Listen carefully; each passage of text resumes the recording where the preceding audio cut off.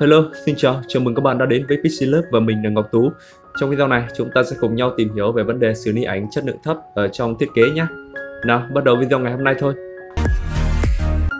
Ở đây thì các bạn có thể thấy mình đang có một bức ảnh với một cái mũ của bộ môn bóng bầu dục Mỹ. Thì các bạn thấy là cái bức ảnh này về cái chất lượng của nó thì không tệ, tuy nhiên là có một vấn đề đó là cái độ phân giải gốc của nó thì rất là nhỏ. Ở đây mình có thể nhấn tổ phím là Ctrl Alt Y để cho các bạn xem này nó chỉ có khoảng 400 nhân 320 thôi.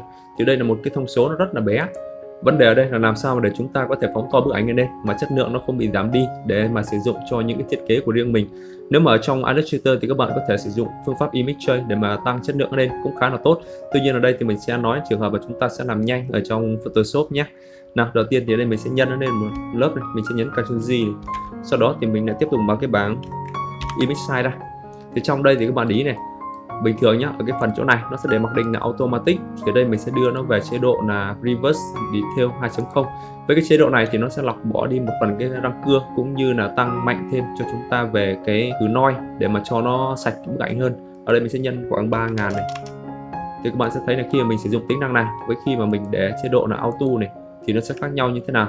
Nó sẽ tạo ra cái vùng tranh sáng giữa vùng tối và vùng sáng, nó tạo ra cái lớp bóng nó nhẹ nhàng hơn.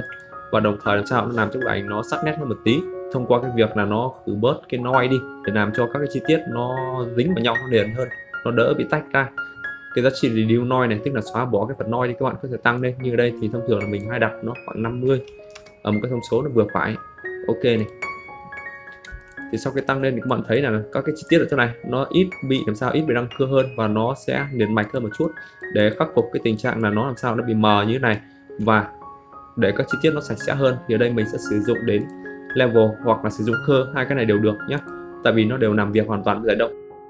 Với những bức ảnh mà có màu trắng đen thì các bạn có thể sử dụng cả level và cơ đều được nó đều giống nhau thôi. Tại vì thực chất là nó không tăng nhiều về giá trị về màu sắc ở đây. Nào mình sẽ đẩy cái này cao lên vào đây. Để cho cái màu đen các bạn thấy này nó sẽ fit lại cái màu đen cho chúng ta.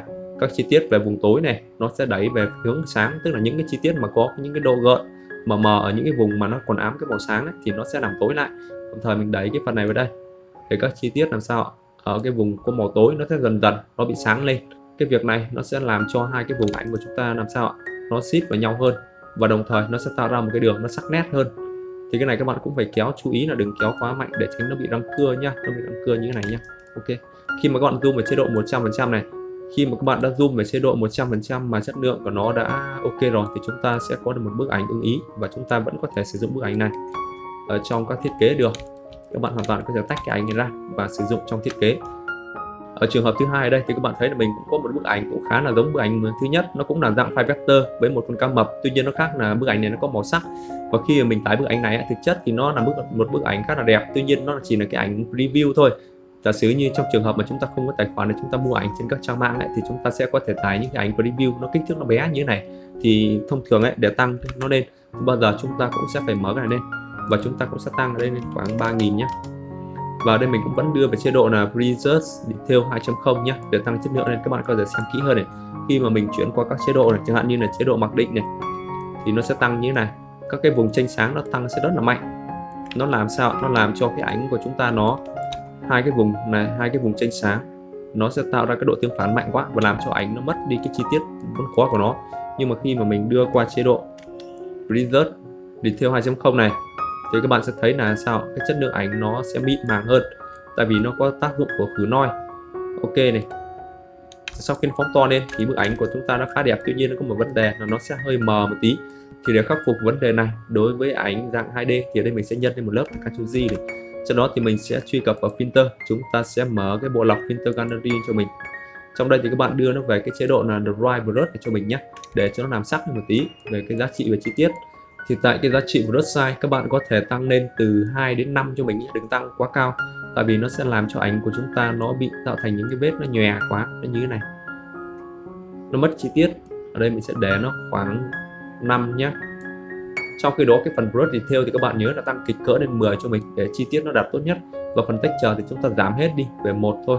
Thì chúng ta sẽ thấy là nó có được một cái chất lượng nó khá là ok như thế này. Là mình kích ok này. Thì các bạn có thể xem kỹ hơn một chút đây là cái ảnh mà sau khi mình đã sử dụng cái chế độ ở trong bộ lọc và ảnh trước đó này, thì nó mờ hơn. Và các chi tiết bây giờ thì nó sẽ sắc lại một tí như thế này. Nếu mà các bạn cảm thấy chỗ nào nó chưa ý hoặc là nó sắc quá, thì chúng ta sẽ giảm opacity của lớp trên này xuống để cho nó vừa phải. Đây mình đặt khoảng 80 chẳng hạn. Và sau đó các bạn có thể gộp cả hai bức ảnh này lại với nhau và xử lý. Và sau đó thì tách hình thôi. Thì qua một vài những thao tác đơn giản thì chắc hẳn các bạn cũng có thể thấy là bức ảnh của chúng ta sẽ được xử lý khá là hoàn hảo và chúng ta sẽ có thể sử dụng được nó trong những thiết kế riêng của mình và mình cũng hy vọng là các bạn sẽ thực hành nhiều hơn để mà chúng ta có những kết quả ưng ý nhé Video này mình sẽ kết thúc tại đây thôi. Nếu như bạn có bất kỳ thắc mắc hay câu hỏi gì thì đừng quên comment xuống phía dưới để cho mình biết ý kiến nhé. Rất là cảm ơn một số bạn trong thời gian qua đã hỗ trợ mình cũng như là đã donate cho mình để cho mình có thêm động lực làm thật nhiều các video chất lượng hơn nữa. Các bạn nhớ nhấn vào subscribe để xem nhiều video khác nữa nhé. Một lần nữa xin chào và hẹn gặp lại các bạn trong những video tiếp theo.